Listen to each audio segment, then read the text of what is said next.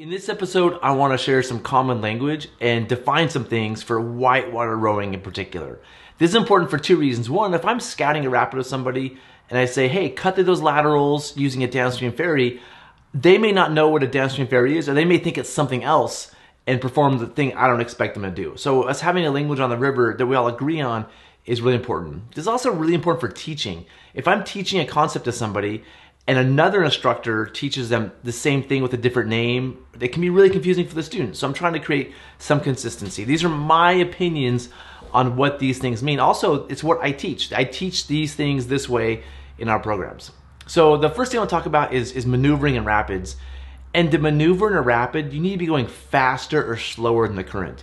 If you're just floating along, you want you can't really maneuver. You have to speed up or slow down. And you can test this get in your oar boat and just use one oar. If you can, if you just spin a boat, it's not really going to do anything. Some sort of maneuvering in rapids and making moves requires you to go faster or slower than the current. Okay, let's get started with the different definitions.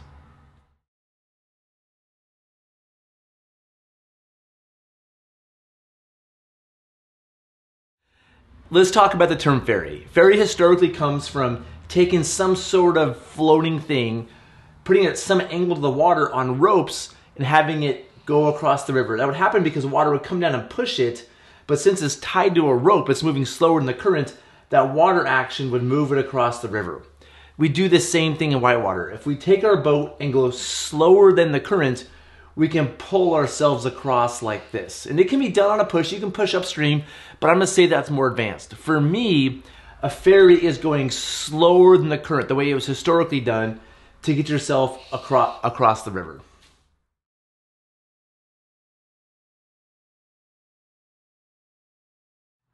Next, let's talk about pulling. So when I say pull a rapid, I mean pulling on the oars. We're stronger this way, and I'm gonna mean this as slowing down, going slower than the current, so you have more time to make a move. So to me, pulling is going to be generally pretty much always pulling upstream to slow things down. If you turn the boat downstream and pull, that's something else we'll get to a little bit later.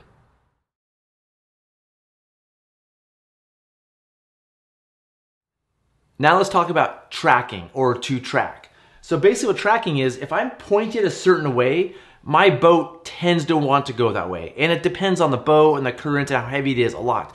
But there is a tendency when a boat is pointed in a direction for it to naturally go that way.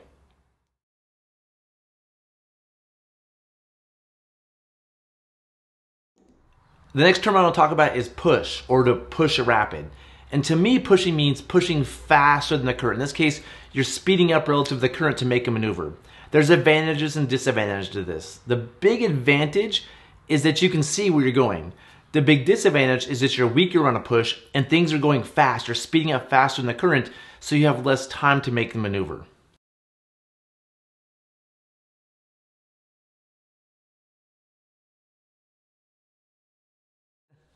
Next, let's talk about the downstream ferry. My definition of a downstream ferry is turning the boat around so the stern is facing downstream.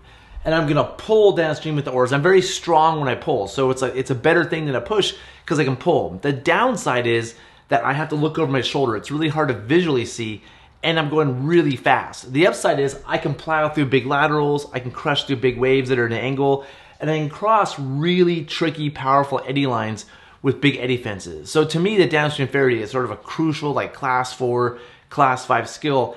And the way I'm defining downstream ferry is pulling downstream at an angle to the current.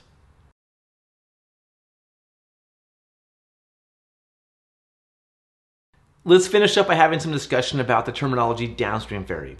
As I started, a ferry means going slower than the current. It means basically to me pulling upstream to ferry back and forth across the river. A downstream ferry is turning your stern down and pulling downstream faster than the current. So to me, according to the classic definition of a ferry, this is not a ferry. Although it has ferry in the name, it's not technically a ferry. And that, that's confusing to some people.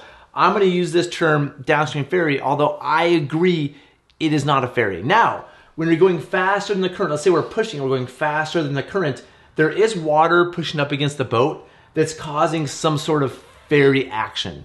So when you're downstream ferrying or pushing, there is a ferry action that is doing something to your boat. but I'm not going to use the term ferry personally. It's, it's a little bit confusing. And so to stay consistent, for me, ferry is always going slower than the current. I can do it on a pull or a push, but it's generally on a pull.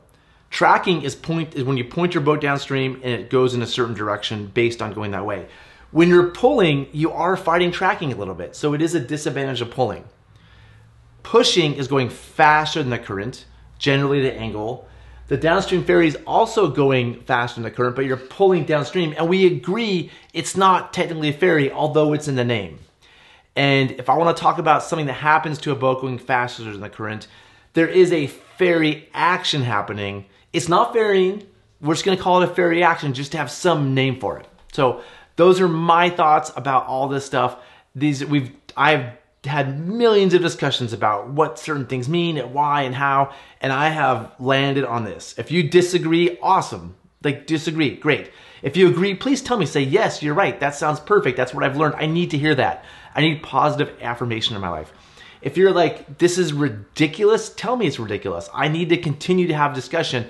I just want to say, like, I want to know it's ridiculous, but in my career, these are the terms we, we've used, so I'm pretty stuck on them. In all of our teaching, whether it's me or people who I teach with, we're using this terminology. So we're, we're probably not going to change unless you can make a really, really, really strong argument for us to change everything we've been doing for the past 12 years. So that's it. Again, please comment. I need information here. I want to know what you're thinking. As always, like and subscribe. And yeah, I'll see you in the next episode. Thanks.